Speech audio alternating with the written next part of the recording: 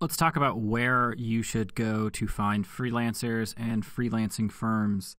For me, there are the big three Elance, Odesk, and Freelancer.com. I'm sure you've used other websites. People per hour seems to be a decent one. There are lots of freelancing sites that target certain niches. You'll notice things like like video pixies or freelancers for videos specifically. In this course, we're talking more about building mobile applications or web applications, so we're going to focus on software freelancers. The big three Elance, Odesk, and Freelancer. These are the ones I've used throughout my career, and these are the ones I've used for over 50, 60 apps. Each one of these has their own pros and cons. Elance is probably by far my favorite for finding high quality contractors. When you bid on Elance, you can get bids from pretty much all over the world when you typically post something, I see a good mix between Western countries and typical outsourced countries, and then people all in between. You'll find a lot of freelancers who are simply location independent, like traveling programmers. Very, very vibrant community of people.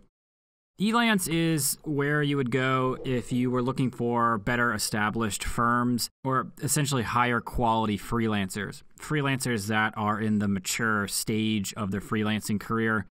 A lot of programmers who have full time jobs that work at reputable companies will go on Elance and bid on projects for their weekends and off hours. The firms on Elance typically have better portfolios. They're usually better at articulating what they're good at they are typically going to give you better, more thoughtful responses to your project briefs. Now, like the other three, it doesn't cost any money to post. The difference is here, you'll notice that most people that bid have read your project and are, will actually respond with detail and with thoughts on it. That obviously comes with a downside. You'll notice that in Elance, the prices are usually a bit higher. If you were to take the same application with the same brief and post them across these three systems, Elance, you'll notice on average, is going to have the highest price, and also the timeline probably is going to be longer.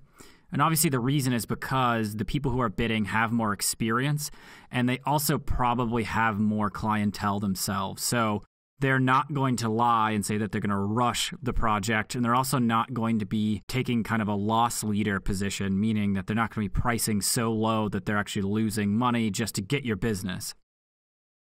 The second one is Odesk. Odesk and Elance, I believe, are a merged company, but they use two different products. Odesk is a little bit different. It's not like Elance in the sense that everybody who bids is going to be high quality Odesk differentiates themselves by what they use called the team view, and they have the thing called a team room. How the team room works